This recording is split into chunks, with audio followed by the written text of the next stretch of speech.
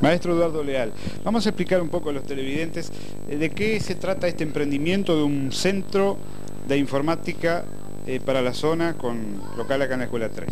Bueno, es un centro regional de informática, es un taller de informática.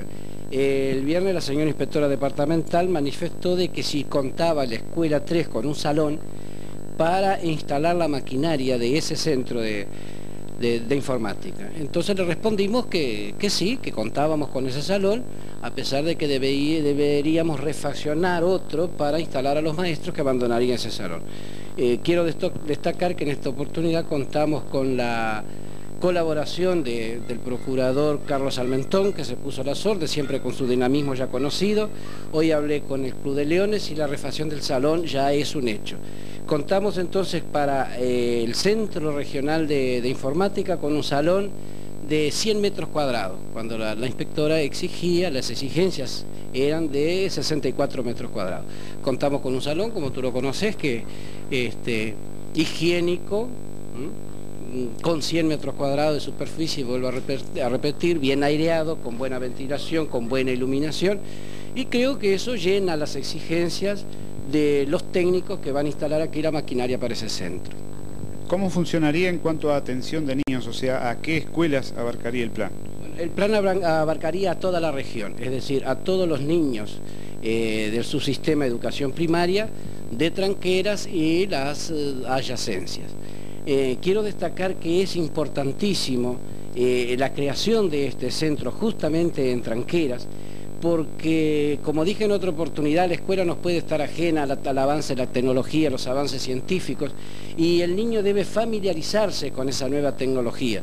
No debemos olvidar que los niños de hoy son los hombres, los dirigentes del siglo XXI, eh, eh, los hombres del mañana, y que nosotros ingresando al Mercosur, con un Brasil con un avance tecnológico a nivel de país desarrollado, nosotros no podemos entrar en inferioridad de condiciones. Eh, de más está decir que para Tranqueras es importante porque no debemos negar que le corresponde un, un lugar de, como polo de desarrollo eh, a la localidad de Tranqueras, porque si nosotros analizamos que nos encontramos a 13 kilómetros de la columna vertebral del Mercosur, que es Ruta 5, que contamos con una Ruta 30 en excelentes condiciones, que contamos con una villa que no hay accidentes geográficos ni eh, otros aspectos que puedan aislarla en algún momento de la capital o de las otras eh, zonas aledañas, ¿eh? y del avance forestal que nosotros estamos viendo ya está cruzando la Ruta 30. Es un polo real de desarrollo Villa Tranquera. Yo quería pedir en esta oportunidad el respaldo de, y la concientización por parte de los habitantes de Tranqueras de la importancia del significado que tiene ese Centro Regional de Informática instalado aquí en nuestra querida Escuela 3 ¿eh? y queremos que se acerquen a la escuela, que nos acompañen en esta tarea, que no se trate de una tarea de una media docena de vecinos emprendedores, sino de toda la comunidad. Podemos hablar de, fecha de comienzo y en cuanto a la, atención docente, digamos así, de este centro.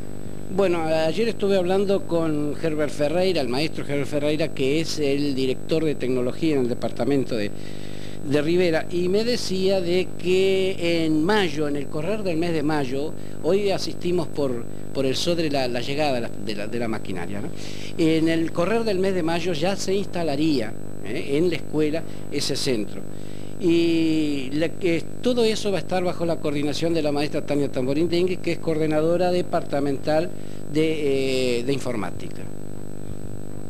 Así que es un mensaje entonces, la invitación a Comisión Fomento, padres, docentes de, los alrededores de todos los centros a apoyar esta obra. A apoyar esta obra, a acompañarnos eh, en, este, en este camino que hemos emprendido con el eslogan La Escuela 3 es nuestra, ayudémosla.